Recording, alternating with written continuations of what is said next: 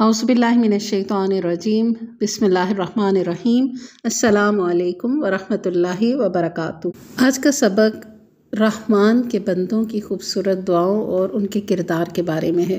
सूरत अल-फुरक़ान, आयत नंबर 63 व इबादुर्रहमानिल्लज़ीन यमशून अलल अर्दि हौनम व इज़ा क़ालू सलामा। रहमान के सच्चे बंदे वो हैं, जो ज़मीन पर फरूतनी के साथ चलते हैं और जब बेइल्म लोग उनसे बातें करने लगते हैं तो वो कह देते हैं कि सलाम है। यानी अर्रहमान के बंदे कौन से हैं?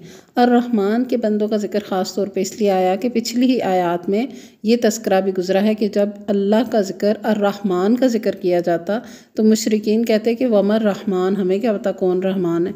वो अल्लाह के नाम से तो वाकिफ़ थे, मगर रहमान से ना वाकिफ़ भी थे और इनकारी भी थे।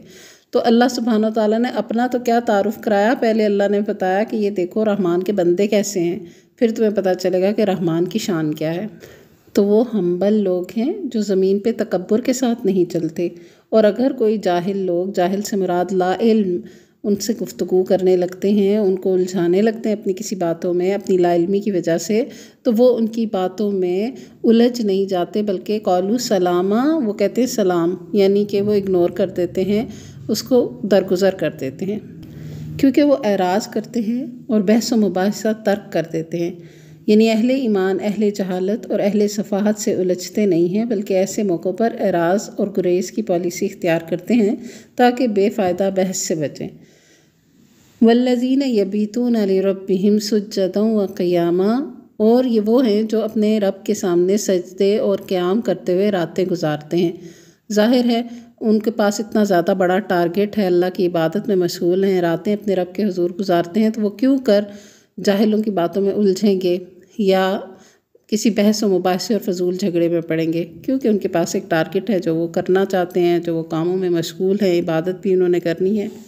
वल्लजीन यकूलून रब नसरफ़ अन्ना अज़ाब जहन्नम इन अज़ाबहा काना गरामा और जो ये दुआ करते हैं कि हमारे परवरदिगार हमसे दोजख का अज़ाब परे ही परे रख क्योंकि इसका अज़ाब चिमट जाने वाला है इससे भी पता चलता है कि एक तरफ़ तो वो रातों को इबादत करते हैं दूसरी तरफ़ वो अल्लाह की खशियत भी रखते हैं कि कहीं अल्लाह की गिरफ्त में ना आए अजाब से बचने के लिए अल्लाह की अमान भी तलब करते हैं। उनके अंदर किसी किस्म का इबादत का तकबर भी नहीं है। तो वो कहते हैं, जहन्नुम की सिफत बताते हैं कि नहासात मुस्तकर रहूँ व मकामा। बेशक वो तो ठहरने और रहने के लिहाज से बदतरीन जगह है।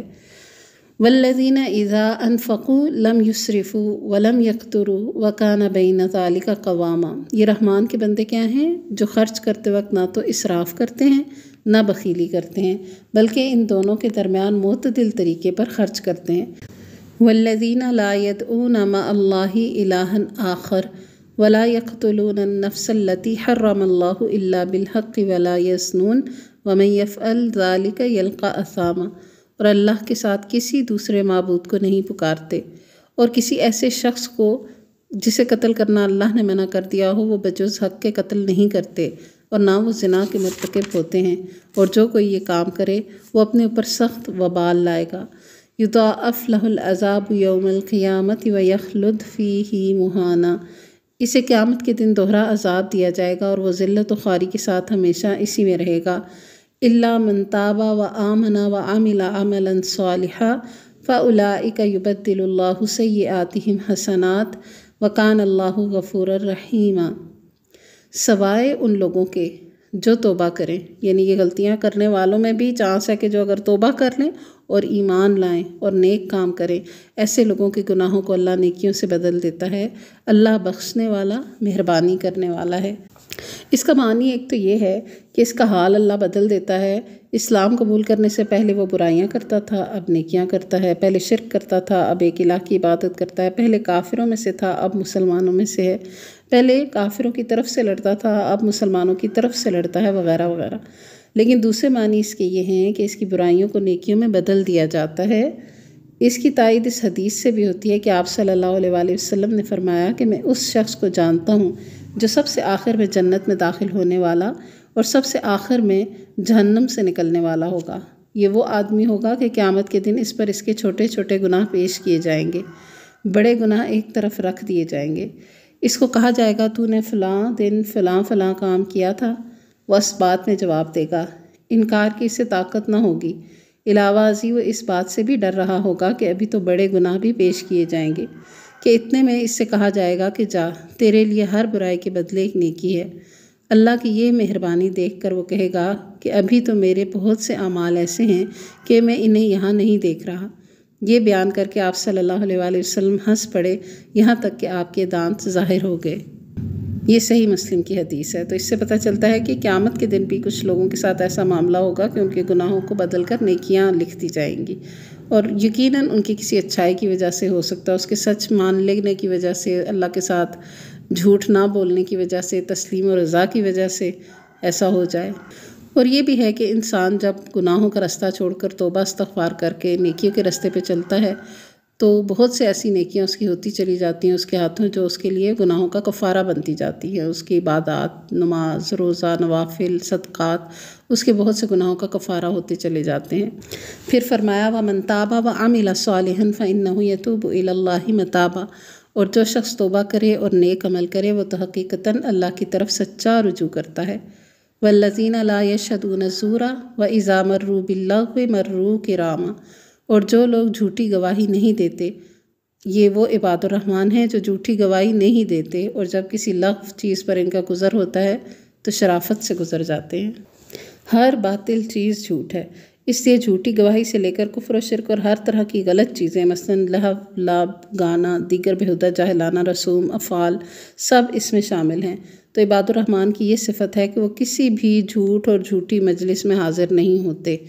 खा वो लिटरली किसी अदालत में जाके कोई झूठी गवाही देनी है या जनरेट करनी है कोई झूठी गवाही या किसी झूठी मजलिस में किसी बातिल गैदरिंग के अंदर शमूलियत इख्तियार करके अपनी प्रेजेंस शो करना ये सब वो नहीं करते, इन सब चीज़ों से किनारा कश होते हैं और लग कामों से बचते हैं और लग से मुराद ऐसे काम होते हैं जिनका कोई शर्य फ़ायदा नहीं होता। ऐसे कामों और बातों में भी वो शिरकत नहीं करते, बल्कि खामोशी के साथ इज़्ज़त वक़ार से गुज़र जाते हैं ऐसी जगह से जहाँ कोई लफ काम हो रहा हो। वल्लजीना इज़ाज़ुक्रू भी आयाति रबिम लम यखिर्रू अलैहा सुम व उमयाना। और जब उन्हें उनके रब के कलाम की आयतें सुनाई जाती हैं तो वह अंधे बहरे होकर इन पर नहीं गिरते। वल्लजीना यकूलूना, रब्बाना हबलना मिन अजवाजिना वज़ुर्रियातिना कुर्रत आयुन वजअलना लिलमुत्तकीना इमामा। और ये दुआ करते हैं कि ए हमारे परवरदिगार, तू हमें हमारी बीवियों और औलाद से आँखों की ठंडक अता फरमा और हमें परहेज़गारों का पेशवा बना। ये बड़ी खूबसूरत दुआ है कि वो कहते हैं इबादुररहमान सिर्फ़ इबादत ही नहीं करते, बल्कि हकूक़ इबाद भी अदा करते हैं और इंसानों के बीच में रहते हैं, ख़ुद के लिए भी उनकी तरफ़ से राहत पसंद करते हैं और उनके लिए भी बायस राहत होते हैं। तो वो अपने रब से, उनके लिए, अपने अहल खाना के लिए दुआ करते हैं कि तू हमारे अजवाज से, जौज का मतलब स्पाउस, तू हमारे अजवाज से और हमारी औलाद से हमें, हमारी आँखों की ठंडक अता फरमा और हमें परहेज़गारों का मुत्तकीन का इमाम बना दे। बहुत ही परफेक्ट दुआ है और मुत्तकीन का इमाम बनने वाले के लिए आसानी ये होती है कि उसको, अब देखिए कोई भी, किसी भी मकाम पे, किसी भी ऑफ़िस में, घर में, किसी भी जगह पर कोई लीड कर रहा है और उसके जो अंडर काम करने वाले हैं या रहने वाले हैं, उसके अहल खाना है, अगर वो ईमानतदार नहीं हैं, मुत्तकीन नहीं हैं, बेईमान करते हैं तो उसके लिए ये ना सिर्फ़ बायस अजियत है, बल्कि उसके जो भी टारगेट्स को अचीव करना चाहता है, उनमें वो एक बहुत बड़ा हर्डल है और वो तरक्की की राह पर नहीं चल सकते। इसके बरक्स कोई भी इदारा है, कोई भी शख्स है जो ऐसे लोगों को लीड कर रहा है जिनके अंदर तकवा की सिफत है, जिनके अंदर खुदा खौफी है तो वो उसके लिए दुनिया और आखरत दोनों में आसानी, राहत, खुशी और कामयाबी का सबब है।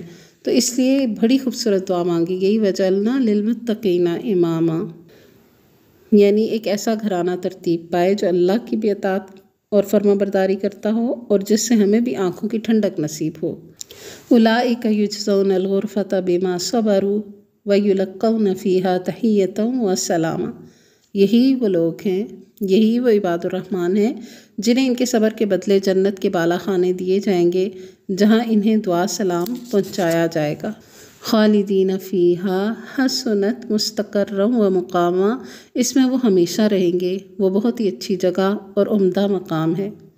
कुल मा या अबाउबिकुम रब्बी लौला दुआकुम फ़कत कज़ब तुम फसो फ़यकून लीसामा कह दीजिए, अगर तुम्हारी दुआ और अल्तजा ना होती तो मेरा रब तुम्हारी मुतलक परवाह न करता।